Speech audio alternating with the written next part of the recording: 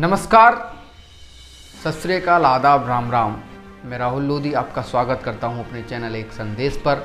साथियों, आज हम एक ऐसे विषय पर चर्चा करने जा रहे हैं, एक ऐसे विषय के बारे में बताने जा रहे हैं, जो विषय इस समय पूरे भारत और पाकिस्तान में चर्चा का बना हुआ है। जी हाँ आपने प्रेम कहानियाँ बहुत सुनी होंगी, आपने प्रेम कहानियों के ऊपर बनी फ़िल्में भी बहुत देखी होंगी। ऐसी ही एक सच्चाई जो अब भारत में भी है। कैसे एक पाकिस्तानी लड़की, कैसे एक पाकिस्तानी महिला अपने प्यार में पाकिस्तान को छोड़कर भारत में रहने के लिए आ जाती है कि किस प्रकार से एक पबजी खेलने वाली महिला, एक पबजी खेलने वाले लड़के से प्रेम जाल में फंस जाती है और प्रेम कर बैठती है। जी हाँ ये बिल्कुल सत्य घटना है। ये घटना है ग्रेटर नोएडा के सचिन की। एक पाकिस्तानी महिला से सचिन प्रेम कर बैठता है और ये पाकिस्तानी महिला सीमा हैदर के नाम से जानी जाती है।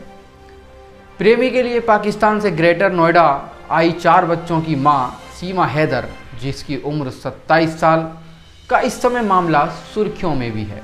4 जुलाई को ग्रेटर नोएडा पुलिस ने उसे जेल भेज दिया था। जेल भेजने का कारण था कि वो एक पाकिस्तान से आई महिला थी और सचिन को भी उसके साथ जेल इसलिए भेज दिया गया क्योंकि वो गैर मान्यता प्राप्त नागरिक को अपनी शरण में रखा हुआ था। साथ ही साथ सचिन के पिता को भी जेल की हवा खानी पड़ी। लेकिन जब कोर्ट में ये मामला गया तो कोर्ट ने जमानत दे दी और कहा, ये प्रेम प्रसंग है, इसमें कोर्ट कुछ नहीं कर सकती। अब उसे कोर्ट से जमानत भी मिल चुकी है। उधर सीमा के पति ने सऊदी अरब से एक वीडियो जारी किया है और उसने कहा है कि मैं मोदी सरकार से ये अपील करता हूँ कि जल्द से जल्द मेरी पत्नी को मुझे लौटाया जाए। सचिन नाम के युवक ने उसे बहला फुसला कर इंडिया बुला लिया है। और मैं इंडिया की मीडिया का भी बहुत बहुत धन्यवाद कहना चाहता हूँ, जिससे मुझे मेरी पत्नी के बारे में पता चला। ये कहना है उसके पति हैदर का। और उसके बाद क्या होता है? प्रेम प्रसंग कितना रचता है? लगभग तीन साल से ये लोग पबजी खेल रहे थे।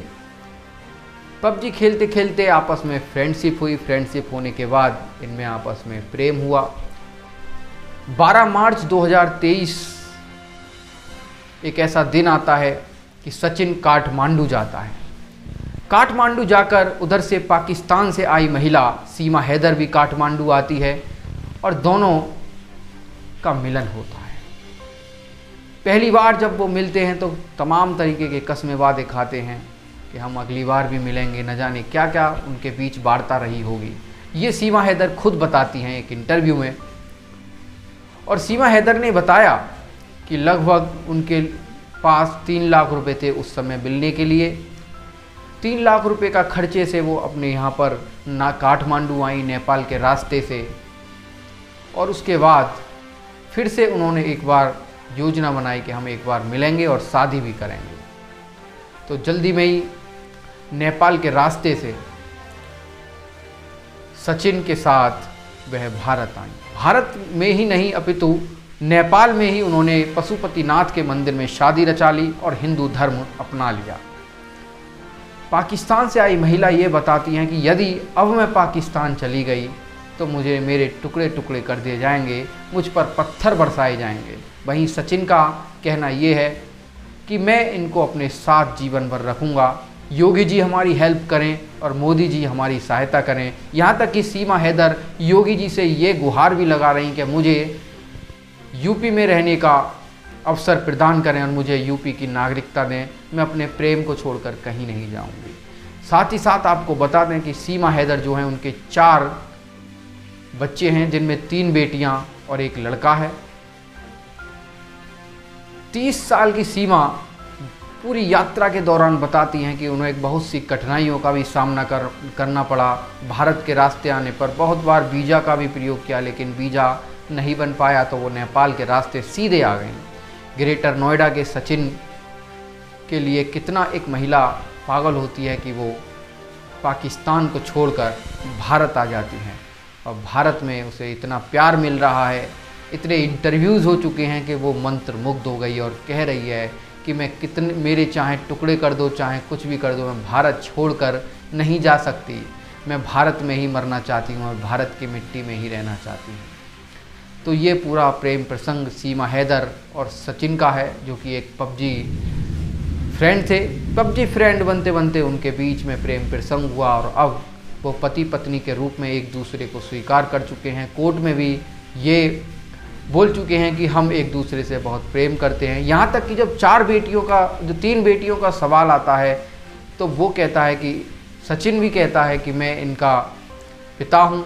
और यहाँ तक कि सीमा हैदर के जो बच्चे हैं, वो भी उन्हें पापा पापा कहकर बुलाते हैं। अब कितना इनके बीच यह संबंध चल पाएगा? कितनी दिन ये यहाँ पर रह पाएँगी? क्या सरकार इनको मान्यता प्रदान करेगी? क्या सरकार इन्हें रहने देगी? योगी जी और मोदी जी, क्या इनके लिए नई योजना लाते हैं? तो हम जब इसी प्रकार की खबरों से जोड़े रखेंगे। आगे क्या होगा? मामले को लेकर भी अपनी राय आपको ज़रूर देंगे। आपकी क्या राय है? कि एक पाकिस्तान से महिला गदर की तरह भारत में आ चुकी है और एक और गदर थ्री, सच गदर थ्री बन चुकी है। तो साथियों, इसी प्रकार से जुड़े रहिए हमारे चैनल के साथ। यदि वीडियो अच्छी लगती है तो चैनल को सब्सक्राइब और वीडियो को लाइक ज़रूर करें, शेयर कर